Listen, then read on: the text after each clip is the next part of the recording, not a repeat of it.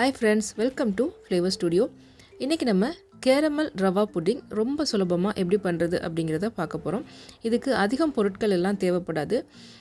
நம்ம எல்லா வீடுகளிலும் இருக்கக்கூடிய மூணே மூணு பொருள் போதுமானது. நல்லா சாஃப்டாக ஸ்பாஞ்சியாக நல்லா நீங்கள் வாயில் வச்சதுமே கரையிற மாதிரியான ஒரு டெக்ஸ்சரில் ரொம்ப டேஸ்ட்டாக இருக்கும். இந்த கேரமல் புடிங் செய்கிறதுக்கு நமக்கு ஓவனு கூட தேவையில்லை. நம்ம சாதாரணமாக வீட்டில் இருக்க இட்லி பாத்திரம் அந்த மாதிரியான ஒரு ஸ்டீம் பண்ணுற மெத்தடில் தான் பண்ணிக்க போகிறோம் எப்படி செய்கிறதுன்னு பார்க்கலாம். ஓகே நம்ம வந்து இந்த ரவா புடிங் செய்கிறதுக்கு ஆரம்பிக்கிறதுக்கு முன்னால் எந்த பாத்திரத்தில் நம்ம அந்த ரவா புடிங்கை வேக வைக்க போகிறோமோ அந்த பாத்திரத்தை எடுத்துகிட்டு அதில் ஃபுல்லாக நம்ம ஆயில் அல்லது கீ அல்லது பட்டர் வந்து நல்லா ஃபுல்லாக அப்ளை பண்ணிக்கணும். இந்த மாதிரி கேக் டின்னில் தான் நீங்கள் செய்யணும்னு கூட இல்லை. சாதாரணமாக நம்ம எல்லா வீடுகள்லையும் டிஃபன் பாக்ஸ் எல்லாம் இருக்கும் இல்லையா? அந்த மாதிரி எவர் சில்வர் பவுல்ஸில் கூட நீங்கள் ஆயில் க்ரீஸ் பண்ணிவிட்டு ரெடி பண்ணிக்கலாம். இப்போது ஒரு சின்ன கடாயை லைட்டாக சூடு பண்ணிவிட்டு அதில் நான் ரெண்டு டேபிள் ஸ்பூன் அளவு சுகர் சேர்த்துக்கிறேன். இது வந்து நம்ம கேரமல் புட்டிங்க்கு சுகர் வந்து கேரமலைஸ் பண்ணிக்க போகிறோம் முதல்ல. இப்போ வந்து சிம்லேயே வச்சுட்டு சுகரை சேர்த்ததுமே நல்லா மிக்ஸ் பண்ணி விட ஆரம்பிச்சிங்க அப்படின்னா சுகர் கொஞ்சம் கொஞ்சமாக ஒரு மாதிரி கட்டி கட்டியாக ஆகிட்டு ஒரு தேர்ட்டி டு ஃபோர்ட்டி செகண்ட்ஸ்லேயே வந்து கரைய ஆரம்பிக்கும். கைவிடாமல் மிக்ஸ் பண்ணிக்கிட்டே இருங்க. ஒருவேளை உங்களுக்கு சுகரை டைரெக்டாக மெல்ட் பண்ணுறதுக்கு ப ஒரு மாதிரி தயக்கமாக இருந்தது ஃபஸ்ட் டைமாக பண்ணுறீங்க அப்படின்னா சுகர் சேர்த்த உடனேயே ஒரு ஸ்பூன் அளவு தண்ணியும் சேர்த்து கலந்து விட்டுட்டு நீங்கள் கேரமலைஸ் பண்ண ஆரம்பிக்கலாம். இப்போ பார்த்தீங்கன்னா சுகர் நல்லா கரைஞ்சி வந்துருச்சு. இன்னும் கொஞ்ச நேரத்தில் கலர் மாற ஆரம்பிக்கும். லைட் கோல்டன் ப்ரௌன் கலர் வரவுமே அடுப்பை ஆஃப் பண்ணிடணும். ரொம்ப நேரம் நம்ம வந்து கலர் நல்லா um, கேரமல் கலர் வர்ற வரைக்கும் வெயிட் பண்ணோம் அப்படின்னாக்கா கசக்க ஆரம்பிச்சிரும். ஏன்னா வந்து அந்த பாத்திரத்தோட சூட்லேயே வந்து இன்னும் கொஞ்ச நேரம் அது வந்து குக் ஆகிட்டே இருக்கும். அதனால ஒரு லைட் ப்ரௌன் கலர் வந்த உடனேயே நம்ம அடுப்பை ஆஃப் பண்ணிவிட்டு நம்ம பட்டர் தடவி வச்சுருக்கோம் இல்லையா? ரவா புடிங்க சேர்க்குறதுக்காக. அந்த பாத்திரத்தில் இந்த கேரமலை நம்ம உடனே சேர்த்துடணும். ஏன்னா கேரமல் வந்து ஆறு ஆறுச்சுன்னா ஒரு மாதிரி ரொம்ப கெட்டியாக ஆயிரும். நம்மளால் வந்து அதை பாத்திரத்தில் மாற்ற முடியாது. பாருங்கள் ஒரு வித்தின் ஒரு ரெண்டு நிமிஷத்துலேயே வந்து நல்லா கட்டி ஆயிடுச்சு. இப்போது ஒரு கடாய் எடுத்துகிட்டு அதில் நான் ஒரு கப் அளவு நல்லா திக்கான பால் சேர்த்து காய்ச்சி எடுத்துக்க போகிறேன் பால் நல்லா கொதிக்க ஆரம்பிக்க போகும்போது இதில் ரெண்டு ஸ்பூன் அளவு சுகர் நான் சேர்த்துக்கிறேன். உங்களுக்கு வந்து நல்லா திகட்டுற மாதிரி இனிப்பாக வேணும் அப்படின்னா நீங்கள் நாலு டேபிள் ஸ்பூன் வரக்கூட கூட சுகர் இதில் சேர்த்துக்கலாம்.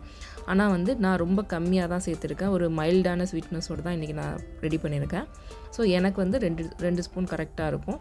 நீங்கள் உங்களோட டேஸ்ட்டுக்கு தகுந்த மாதிரி நாலுலேருந்து அஞ்சு ஸ்பூன் வரைக்கும் கூட நீங்கள் தாராளமாக சுகர் சேர்த்துக்கலாம்.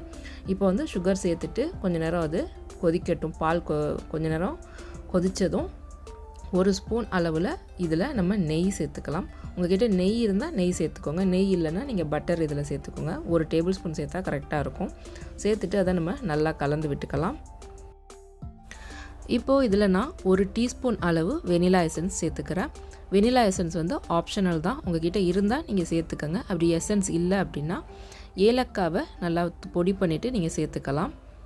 இப்போது வெனிலா எசன்ஸ் சேர்த்ததுமே ரெண்டு டேபிள் ஸ்பூன் அளவு வறுத்த ரவை நான் சேர்த்துக்கிறேன். நீங்கள் வறுக்காத ரவை சேர்க்குறீங்கன்னா மூணு டேபிள் ஸ்பூன் வரைக்கும் கூட சேர்த்துக்கலாம். இப்போது ரவையை சேர்த்ததும் நல்லா நம்ம மிக்ஸ் பண்ணி விட்டுட்டே இருந்தோம்னா ஒரு நா நாலஞ்சு நிமிஷத்துலேயே நல்லா கெட்டியாக ஆரம்பிக்கும். பாருங்கள் நல்லா மிக்ஸ் பண்ணி விட்டுட்டே இருங்க. இல்லைன்னா கட்டி தட்ட ஆரம்பிச்சிரும். இந்த மாதிரி கன்சிஸ்டன்சி வரவும் நம்ம அடுப்பை ஆஃப் பண்ணிடலாம்.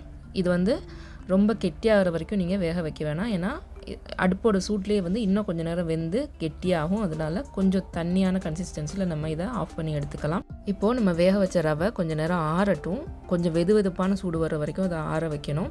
இப்போ இன்னொரு பவுல் எடுத்துகிட்டு அதில் ரூம் டெம்பரேச்சரில் இருக்க ஒரு முட்டை உடச்சி சேர்த்துட்டு கொஞ்சமாக ஒரு பிஞ்ச் அளவு சால்ட் சேர்த்துட்டு அதை வந்து நல்லா கலந்துக்கலாம்.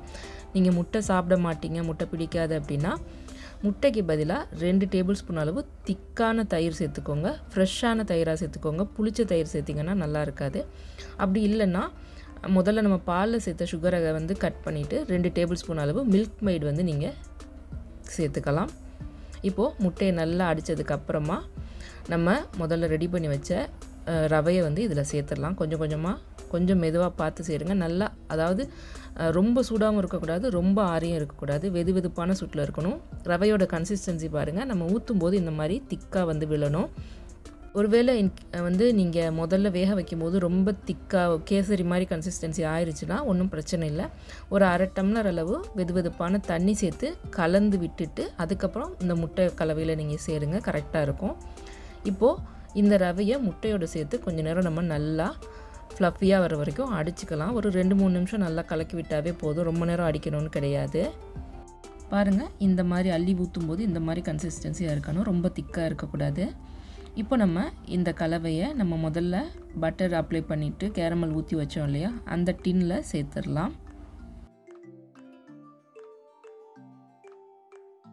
இப்போது இதை வந்து நம்ம இட்லி வேக வைக்கிறது மாதிரி ஆவியில் தான் வேக வச்சு எடுத்துக்க போகிறோம் ஒரு கடாயில் தண்ணி ஊற்றிட்டு ஒரு சின்ன ஸ்டாண்டு போட்டு நான் வந்து கொஞ்ச நேரம் கொதிக்க விட்டு எடுத்துக்க போகிறேன் கொதித்ததுக்கப்புறமா நம்ம புட்டிங் ரெடி பண்ணி வச்சுருக்க டின்னை இந்த மாதிரி ஒரு ஸ்டீமர் பவுலில் வச்சு உள்ளே நான் சேர்த்துக்கிறேன். சேர்த்துட்டு நம்ம புட்டிங் சேர்த்த டின்னையும் முதல்ல ஒரு தனியாக ஒரு மூடி வச்சு மூடிடணும். அப்படி இல்லைன்னா அந்த டின்னை வந்து நம்ம அலுமினியம் ஃபாயில் வச்சு கூட நீங்கள் கவர் பண்ணிக்கலாம் உங்ககிட்ட இருந்ததுன்னா. இது வந்து ஆவி ஆவி அடித்து அதில் வந்து நம்மளோட கேக் டின்னில் வந்து தண்ணி சேராமல் இருக்கிறதுக்காக தான் இந்த மாதிரி ஒரு மூடி போட்டு மூடிட்டு அதுக்கப்புறம் நம்ம கடாயோட மூடியும் சேர்த்து போட்டு மூடிட்டு மிதமான தீல அதாவது லோ மீடியமில் வச்சு இருபது நிமிஷத்துலேருந்து இருபத்தஞ்சி நிமிஷம் வரைக்கும் வேக வச்சு நம்ம இதை எடுத்துக்கணும். எனக்கு இன்றைக்கி இது வேகிறதுக்கு கரெக்டாக இருபது நிமிஷம் ஆச்சு. உங்களோட பாத்திரத்தோட நீள ஆகலம் பொறுத்து இது கொஞ்சம் முன்ன பின்ன ஆகலாம் வேகிறதுக்கு. இருபது நிமிஷம் கழித்து நம்ம ஓப்பன் பண்ணி பார்த்தோம். கரெக்டாக வெந்திருந்தது. கன்ஃபார்ம் பண்ணிக்கிறதுக்காக ஒரு சின்ன டூத் பிக்கோ அல்லது கத்தியோ வச்சு நம்ம இன்ஸ்ட இன்சர்ட் பண்ணி பார்க்கணும். அதில் வந்து ஒட்டாமல் வரணும். நம்ம மாவு எதுவும் ஒட்டாமல் வந்தது அப்படின்னா கரெக்டாக வெந்திருக்குன்னு அர்த்தம். நம்ம வந்து அடுப்பு ஆஃப் பண்ணிவிட்டு இதை வந்து இறக்கிடலாம். அப்படி இன்கேஸ் மாவு ஒட்டிக்கிட்டு வருது அப்படின்னா இன்னும் சரியாக வேகலை. இன்னும் ஒரு அஞ்சு நிமிஷமோ ஒரு பத்து நிமிஷமோ வேக வச்சுட்டு நம்ம அதுக்கப்புறம் அடுப்புலேருந்து ரிமூவ் பண்ணிவிட்டு நல்லா ஆற விடலாம் பாருங்கள் நல்லா சாஃப்டாக மேலெல்லாம் நல்லா வெந்து வந்துருச்சு. இந்த ரவா புட்டிங்கை அந்த டின்லேருந்து வெளியில் எடுக்கிறதுக்கு முன்னால் நல்லா ஆற விட்டுருங்க. ஆறலைன்னா நம்ம எடுக்கும்போது ஒரு மாதிரியாக உடையிறதுக்கு சான்சஸ் இருக்குது நல்லா ஆறுனதுக்கப்புறம் அந்த டின்னில் ஓரங்களில் கத்தியால் கீறிட்டு ஒரு தட்டையில் இந்த மாதிரி நம்ம கவுத்தி போட்டுட்டு லைட்டாக தட்டினோம் அப்படின்னா பட்டுன்னு விட்டுரும். அதுக்கப்புறமா நம்மளுக்கு விருப்பமான சைஸில் ஸ்லைசஸ் போட்டு நம்ம சர்வ் பண்ணலாம்.